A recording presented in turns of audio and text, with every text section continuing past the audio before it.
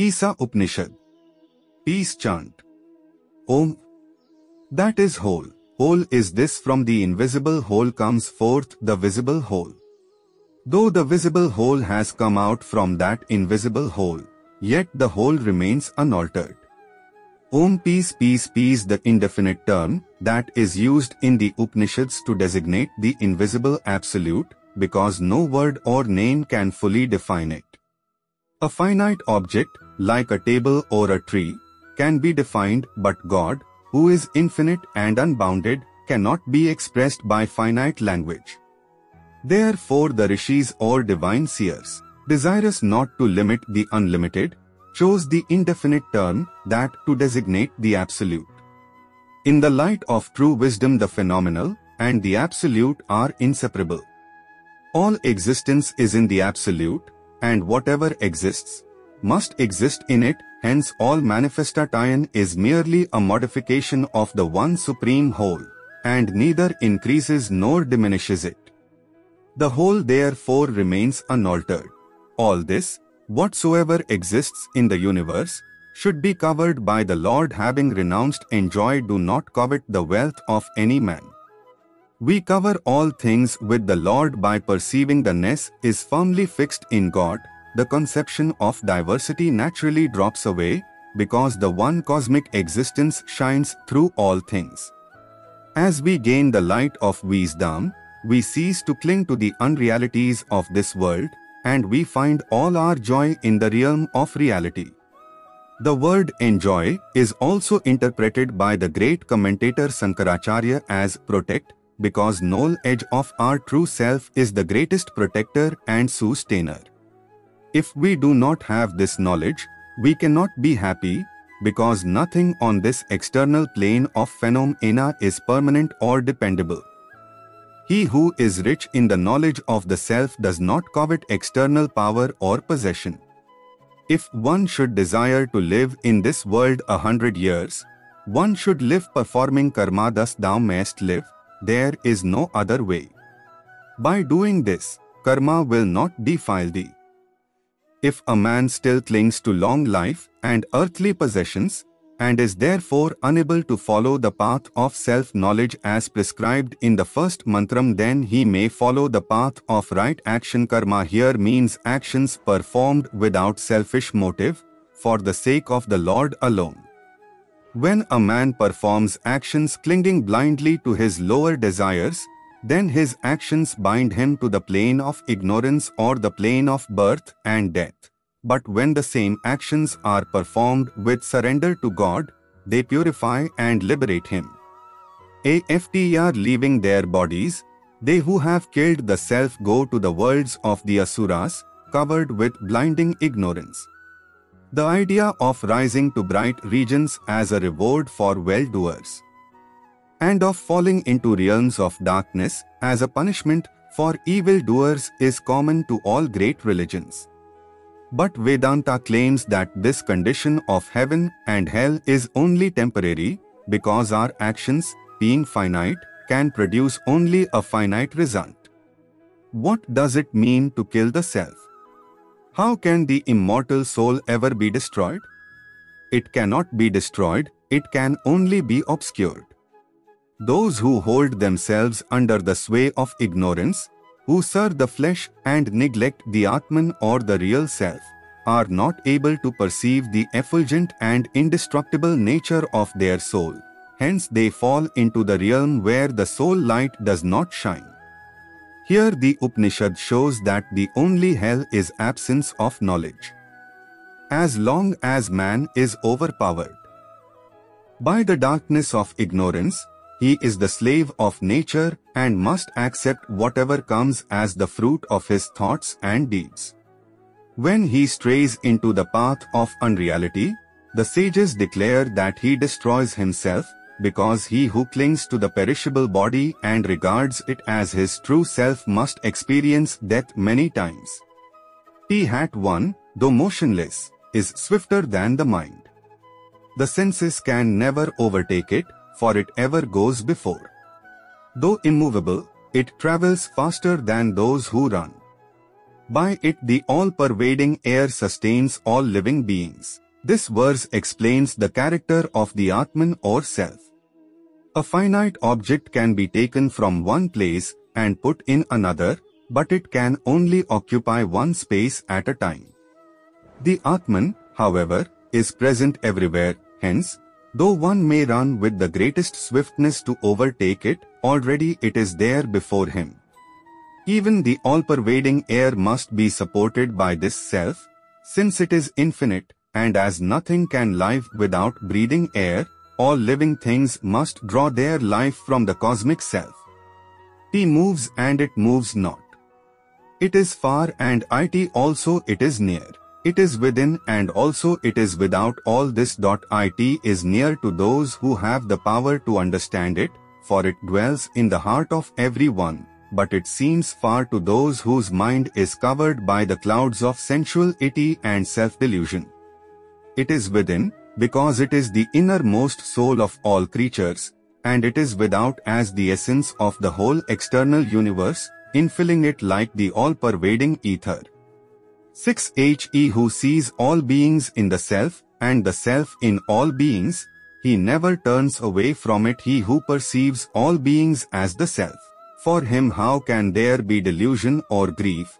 When he sees this oneness, he who perceives the self everywhere never shrinks from anything, because through his higher consciousness, he feels united with all life.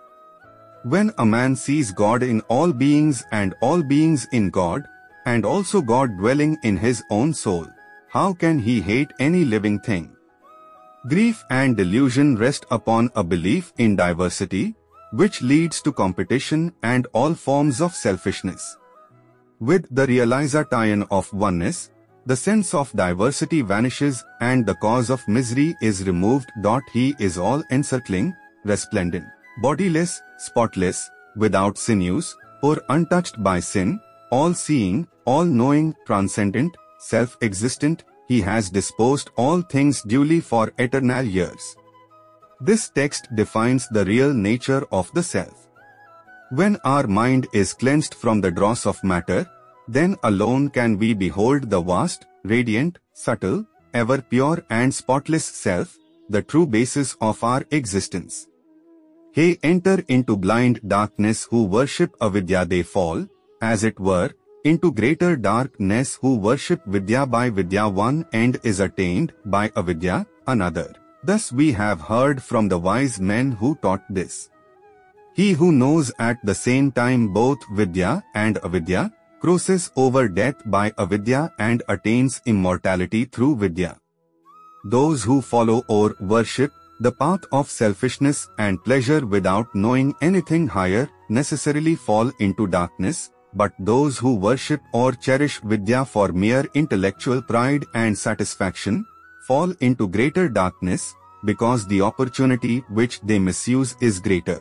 In the subsequent verses Vidya and Avidya are used in something the same sense as faith and works. In the Christian Bible, neither alone can lead to the ultimate goal, but when taken together they carry one to the highest. Work done with unselfish motive purifies the mind and enables man to perceive his undying nature. From this he gains inevitably a knowledge of God, because the soul and God are one and inseparable, and when he knows himself to be one with the supreme and indestructible whole, he realizes his immortality.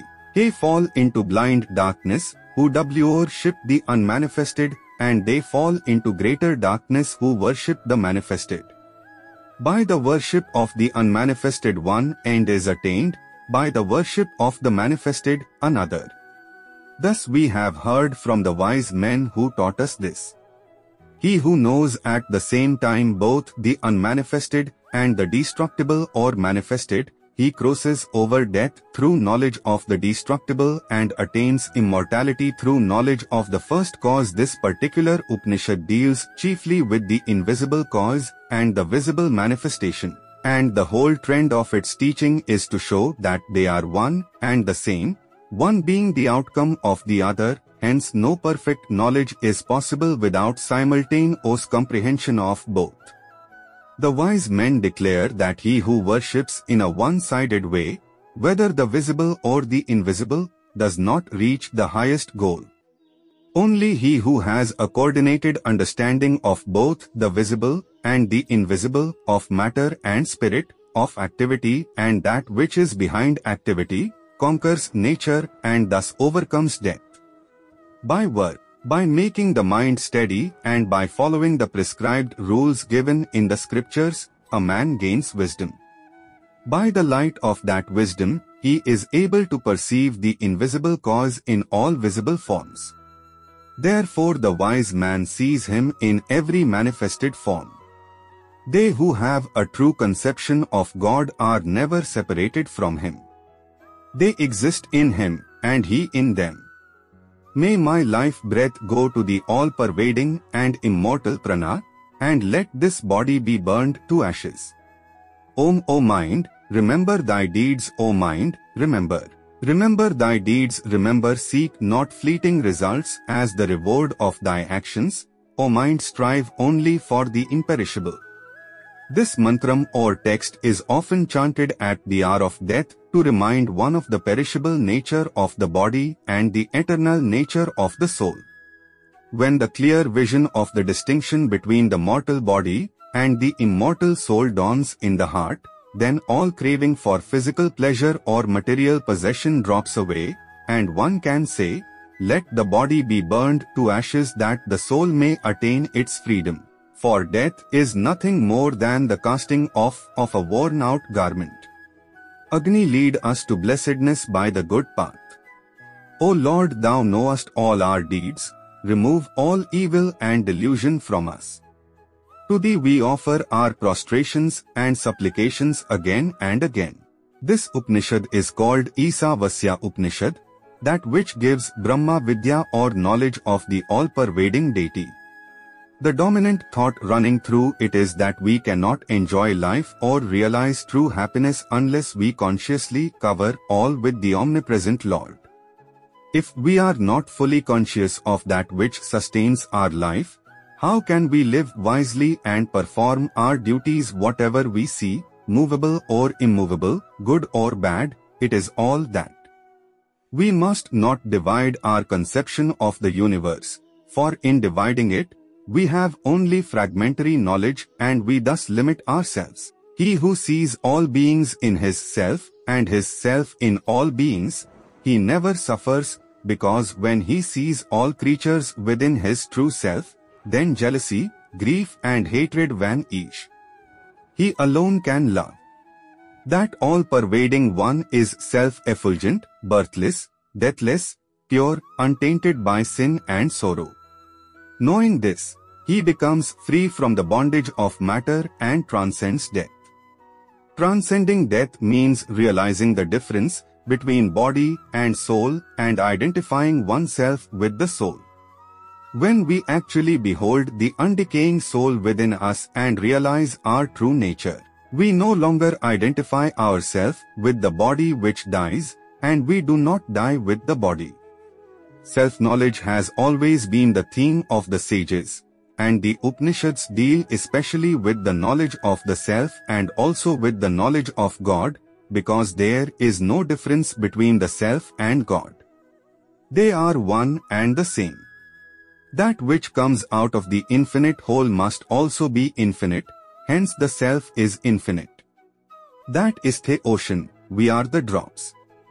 So long as the drop remains separate from the ocean, it is small and weak, but when it is one with the ocean, then it has all the strength of the ocean. Similarly, so long as man believes himself to be separate from the whole, he is helpless, but when he identifies himself with it, then he transcends all weakness and partakes of its omnipotent qualities.